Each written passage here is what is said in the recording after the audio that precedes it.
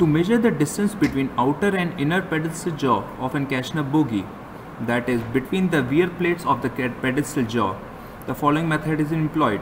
Once found out the center point of the pedestal jaw, it is been transferred inside surface of the pedestal jaw with the help of a scale. Now, we can have the center point within inside of the surface. It is been matched with the gauge available at the depot. It has been done in every ROH of the wagon.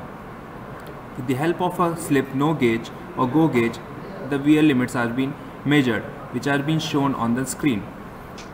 It has been reclaimed with the help of the suitable liners welded on the surface of the pedestal jaw. It has been done in every ROH of the wagon. Thanks for watching.